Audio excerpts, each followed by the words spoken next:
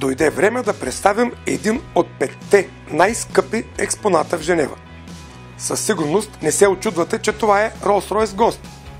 Този модел се здобява от 2014 и е завоювал славата си на един от най-скъпите и най-луксозни автомобили. Докаране в Женева елеганс с удължено между оси обаче е нещо уникално в истинския смисъл на думата. Лимузината е изработена по поръчка на частен клиент и ръчно нанесеното и гланцово покритие е наречено Diamond Stardust, в превод звезден прах от диаманти.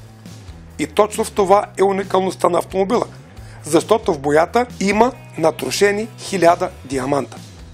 За целта екип ръководен от шефа на техническата лаборатория в Гудулт Пауло Травали и специалистите по цветовете Роудан Еверендън и Йозеф Петровски в продължение на два месеца са избирали диаманти, които пропускат и отразяват светлината с определена сила.